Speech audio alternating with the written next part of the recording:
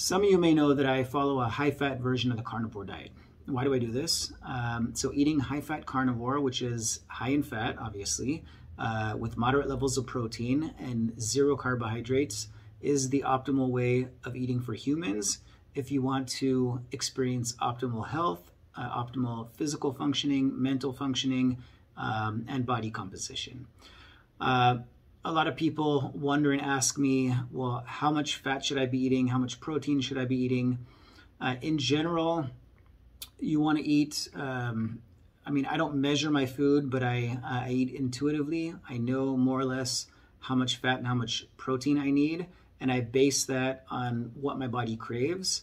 Um, so sometimes if I have too much fat, uh, I'll, I'll, crave a little bit more protein, or vice versa. If I have too much protein, I'll crave more fat.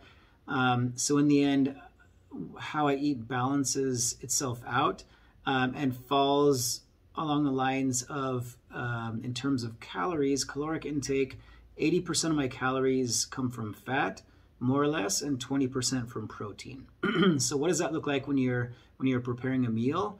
So if you're if you have some meat uh, and some fat, so how you can do is for every 100 grams of lean meat, that you're preparing, again, raw, you'll want to add 35 grams of, uh, of raw fat to that.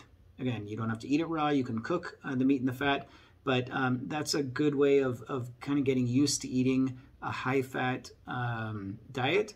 And then, like I said, once your body's used to it, you'll kind of you'll kind of be able to eyeball um, the amount of protein, the amount of fat that you're eating, the different types of foods you're eating to gauge how much of each macronutrient you're going to need.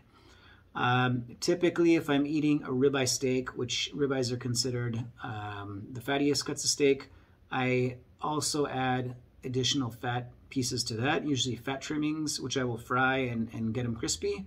So I'll eat a handful, a nice big handful sized of fat trimmings, and eat that together with the ribeye steak.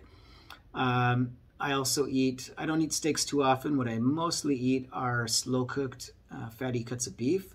So things like short ribs, chuck roast, brisket, um, regular ribs. And again, so short ribs um, oftentimes have enough fat in them if they're fatty, if they don't, um, the butchers don't trim the fat off. So short ribs will have enough fat for me to where I don't need to add additional fat, which is perfect. Uh, same thing with brisket. Uh, so briskets I get are usually really fatty, big, thick layers of fat um, in between the, the, the layers of the meat. And so again, I don't have to add additional fat to that. Usually chuck roasts, yeah, I'm gonna need to add um, additional fat trimmings to that. Uh, again, uh, I'll have a plate or a bowl of, of meat, uh, usually about, I usually eat about 10 to 12 ounces of food per meal.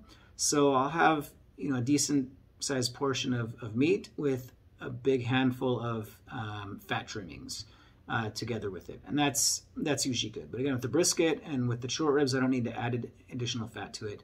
Um, it has enough fat. So so once you get used to to to eating um, high amounts of fat, um, you don't have to measure. Uh, it's just when you're getting started, you might want to do that so that you know and you know so that you're sure that you're getting um, the the macronutrients in their in their correct ratios. Um, so I hope you found this uh, video helpful. And if you have any questions, let me know in the comments below. Um, if you think somebody can benefit from this video, feel free to share it to them. And if you'd like to be um, reminded and notified about upcoming videos on uh, nutrition, health, um, athletic functioning, body composition, uh, hit the subscribe button, and we will see you next time.